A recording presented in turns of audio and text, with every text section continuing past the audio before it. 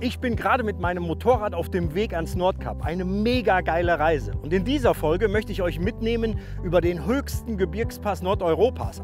Außerdem besuchen wir drei der beliebtesten Ziele. Geiranger Fjord, Trollstiegen, Atlantikstraße. Und wir wollen uns anschauen, ob der Weg dorthin wirklich lohnt. Außerdem gibt es noch eine Menge mehr. Und jetzt verpiss dich, du Kackfliege.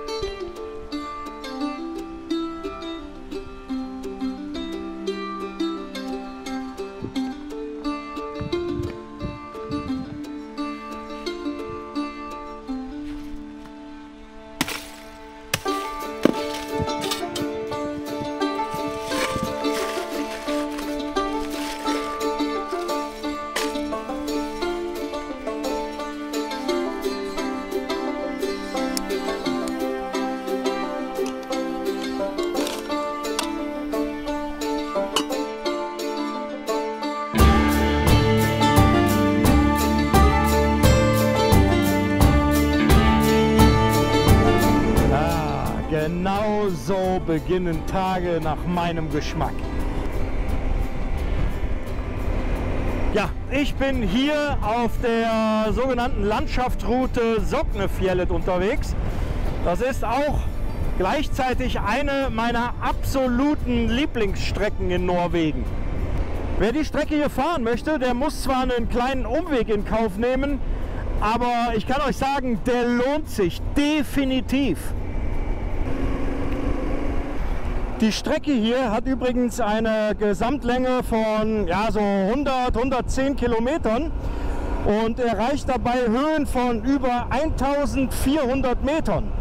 Das ist Rekord in Nordeuropa. Keine Straße ist höher. Das Coole hier, und das meine ich im wahrsten Sinne des Wortes, ist, dass man hier entlang der Strecke auf den höchsten Punkten, selbst im Hochsommer noch, also in den heißesten Monaten und in den vergangenen Tagen war es hier ja verdammt warm, da kann man hier noch eine Schneeballschlacht machen. Aber nicht nur Schneeballschlachten kann man hier oben machen.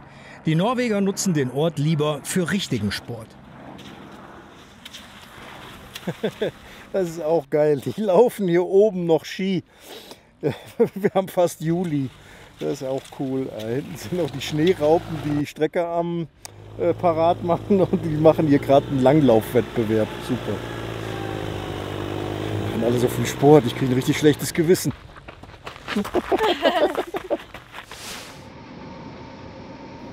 Nach insgesamt knapp 100 Kilometern endet die Strecke in Lom. Der Ort ist eine wichtige Durchgangsstation für alle, die von hier weiter in Richtung Geirangerfjord fahren. Die bekannteste Sehenswürdigkeit in Lom ist die aus Holz gebaute Stabkirche aus dem 12. Jahrhundert. Natürlich mache ich eine Pause und schaue mir das imposante Bauwerk mit all den beeindruckenden Verzierungen an. Ich finde das Schild Rauchen verboten geil. Einmal nicht aufgepasst, zack ist die Kirche fort. Das wäre tatsächlich ein Jammer, denn mit den vielen Verzierungen ist die alte Kirche echt sehenswert. Deswegen wundert es mich, dass sie mit einer Schutzschicht überzogen ist, die meiner Meinung nach gut brennbar ist. Das riecht so richtig, so richtig ungesund. Nach Teer, Schweröl und was auch immer. Ah, cooler Geruch irgendwie. Hm. okay. So, genug geschnüffelt. Jetzt wird es Zeit, das erste Ziel zu besuchen, das vermutlich jeder auf dem Zettel hat, der nach Norwegen fährt. Auf einer traumhaft schönen Straße sind es ziemlich genau 96 Kilometer bis an den Geiranger Fjord. Der wohl bekannteste und demzufolge leider auch meist besuchte Fjord Norwegens. Der kleine Ort am östlichen Ende des Geiranger Fjord hat in den letzten Jahren leider traurige Berühmtheit erlangt. Der Kreuzfahrttourismus brachte hier massive Umweltprobleme mit sich. An windstillen Tagen hingen dichte Abgasschwaden aus Schweröl und Schiffsdiesel über dem Fjord, wie ich selbst entsetzt beobachten musste. Mitunter wurden hier Abgaswerte gemessen, die es locker mit denen einer indischen Metropole hätten aufnehmen können. Diesem Wahnsinn hat die Regierung zum Glück einen Riegel vorgeschoben. Seit kurzem gelten für Kreuzfahrtschiffe strenge Umweltauflagen und die Zahl der Touristen soll mittelfristig reduziert werden. Die Umwelt wird es freuen, die Betreiber der vielen Souvenirshops hingegen weniger. So, wir sind jetzt also in Geiranger. Und wisst ihr was? Da der Ort alles andere als ein Geheimtipp für Individualreisende ist, belassen wir es jetzt auch dabei, dass ich einmal durch den Ort durchfahre. Denn das ist so ziemlich das Touristischste, was ich überhaupt kenne. Ich weiß gar nicht, ob überhaupt noch Einheimische ganz normal wohnen. Ich würde sagen, der Ort besteht zu 99 Prozent aus Restaurants und äh, Souvenirläden. Deswegen, ich persönlich finde es hier ganz schrecklich, obwohl ich den Ort, also den, den, den Fjord vielmehr, schön finde. Aber ich würde hier niemals meinen Urlaub verbringen in dem Ort. Und ja, ihr seht selbst, hier sind unzählige Reisebusse und das ist noch die Vorsaison. Ne? Also in den Sommermonaten, wenn, gerade wenn in Deutschland Sommerferien sind, in dem äh, bevölkerungsreichsten Bundesland Nordrhein-Westfalen vor allem, dann sieht das hier ganz anders aus. Deswegen schnell weg hier, ein letzter Blick. Tschüss Geiranger Fjord. Und jetzt geht es dann hinauf wieder in die Berge über die sogenannte Adlerstraße. Oh Mann, ey, ja genau das ist das, warum die Strecke hier so einen Spaß macht.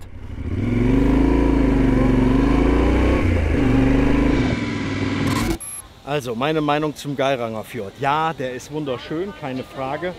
Aber ich verstehe nicht, warum ausgerechnet der so gehypt wird, denn es gibt hier zig andere Fjords. Ich bin dann echt an einigen vorbeigefahren, die ich persönlich spektakulärer finde. Vor allem kann man da wirklich kilometerlang direkt am Fjord entlang fahren und hier sind es vielleicht gerade mal ein paar hundert Meter.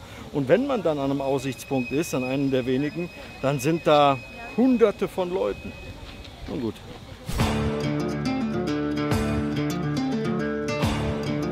Zum Glück aber gibt es sie noch. Die beliebten Ziele in Norwegen, die zwar touristisch sein mögen, die aber allein von der Anfahrt Motorradfahren vom Feinsten versprechen. Allein die 60 Kilometer vom Geiranger Fjord zu meinem nächsten Ziel sind wirklich atemberaubend. Und dann liegt sie vor mir, die Trollstiegen.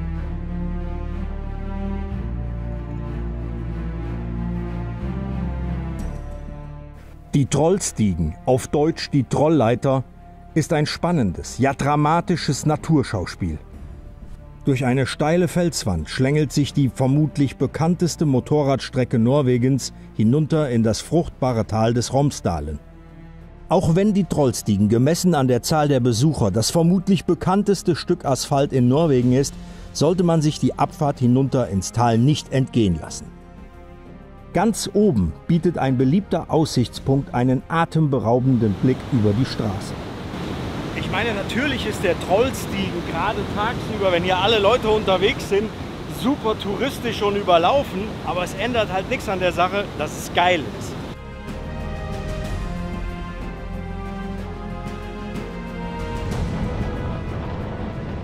Ach ja, kleine Anekdote über den Trollstiegen am Rande. Insgesamt sind es elf Kurven, die hier auf einem Gefälle von 12 Prozent den Berg runterführen. Und jede Kurve hat einen Namen. Die meisten sind nach Vorarbeitern des Bautrupps benannt worden, die die Strecke hier einst in den Fels geschlagen haben. Bis auf eine Kurve, die Nika-Wehen, die Nika-Kurve, die wurde nämlich nach der Köchin des Bauunternehmens bzw. des Bautrupps benannt. Und somit ist es wahrscheinlich die einzige Kurve auf der Welt, die nach einer Frau benannt wurde.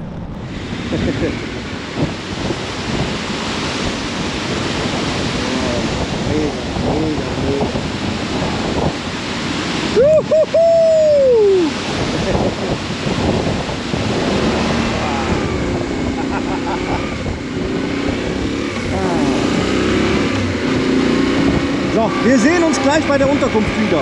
So, ich hatte mir heute im Laufe des Tages spontan eine Unterkunft für heute Abend gebucht und bin da jetzt angekommen und ich muss sagen, ich bin echt begeistert. Also ich kann vorweg sagen, ich bezahle 55 Euro pro Nacht und das ist echt wie ein schöner Wohnen, zumindest das Haus. Die Bude von innen habe ich noch nicht gesehen, aber die, das Haus ist der Hammer, vor allem die Lage. Jo, Tesla vor der Tür, die Berge im Hintergrund, so kann man wohnen. Da schon wieder die Sonne scheint, frage ich Lars, den Besitzer der Unterkunft, was es mit dem anhaltend guten Wetter auf Since sich I hat. have arrived, I had only sunshine, blue sky and good weather. Yeah. Is it uh, is it normal or is it? I, I mean, it's not normal. But what do you think about the weather now? Is It's very good, very nice. It, it, it can be like this, and it also can be 10 degrees. Uh, Yeah. uh, that's normal too, and this is normal also. But last summer it wasn't like this. And I saw you yesterday on your porch, just in shorts. And how many days do you have in a year where you can where you can just sit there and relax in the sunshine? 30, 40. Really, so much? Yeah. I thought it's a lot less because many people are afraid that they think, oh, in Norway there's only bad weather, and uh, but it isn't But, this way. but, but, it, it can be. It Yeah. can be. Last summer it was cloudy, cold. Yeah. summer, just some few days uh, over the 20 degrees. Mir soll's recht sein. Ich habe nichts dagegen, in Norwegen beim Biertrinken einen Sonnenbrand zu bekommen. Und so freue ich mich, dass ich am nächsten Tag bei bestem Wetter den Weg zu meinem nächsten Ziel in Angriff nehmen kann. Ich werde nie verstehen, warum alle Welt nur vom Geiranger Fjord redet. Guck sich das mal einer an. Das hier ist geil. Das ist ein Fjord.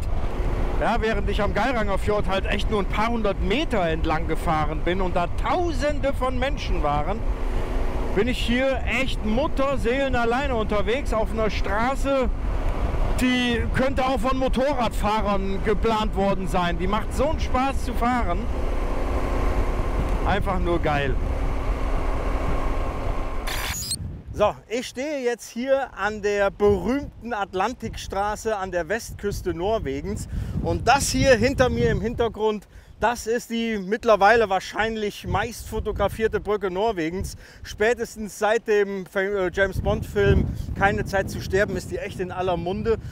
Es ist super stürmisch gerade und ich hatte eigentlich vor, hier mal die Drohne steigen zu lassen, um euch das Ganze aus der Vogelperspektive zu demonstrieren. Denn dann ist es echt spektakulär schön.